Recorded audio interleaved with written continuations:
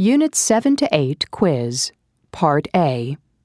Listen to the conversations. Check the correct answers. 1, Are you going to buy that bottle of water?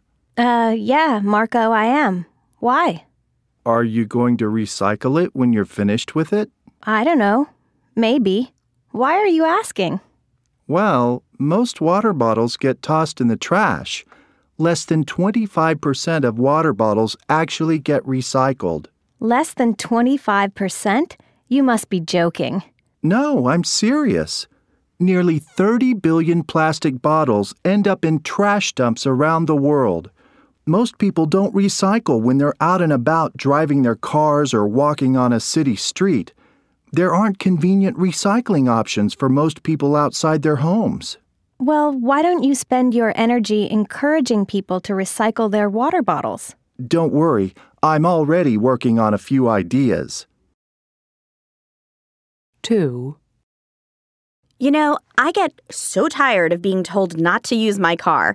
I just saw a TV show about global warming, and this man said that people who have cars are selfish. Well, many problems have been caused by pollution from heavy traffic.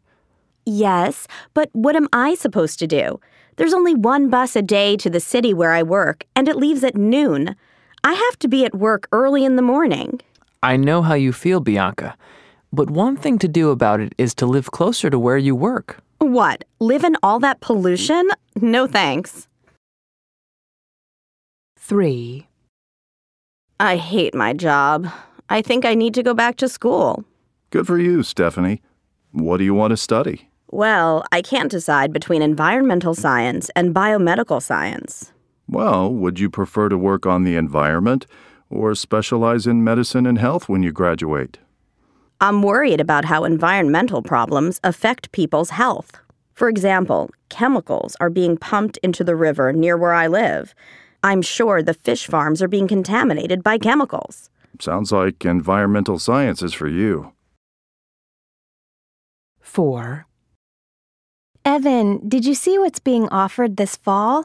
I'm thinking about registering for a class. Yeah, I've already registered. I'm taking psychology. Hey, why don't you join me, Claire? It'll be fun. Well, I'd prefer to take something more useful. I was considering either auto repair or the science of cooking. You know, a better way to learn about auto repair is by studying car repair manuals. You can find them online instead of spending money on a class. Yeah, I could try that first.